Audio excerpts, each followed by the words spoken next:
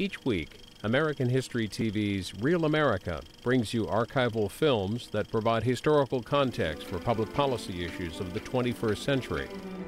In the delta of the Orinoco, the thatched hut symbolizes the old way of life.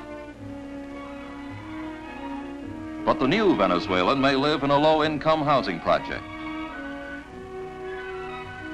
If he needs medical care, he has access to hospitals as modern as any on earth, for the sowing of petroleum has contributed significantly to the welfare of a people.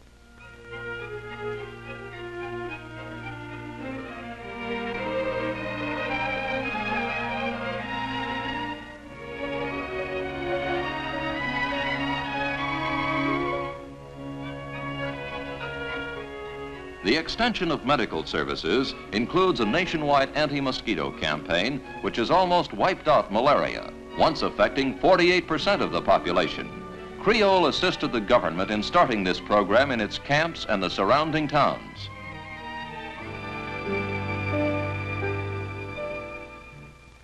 Compulsory free inoculations attack other diseases. Free chest x-rays are available to fight tuberculosis.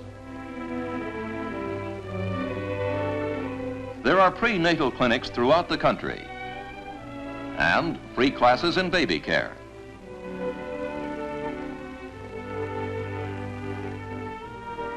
The pediatric clinic is an accepted part of Venezuelan life.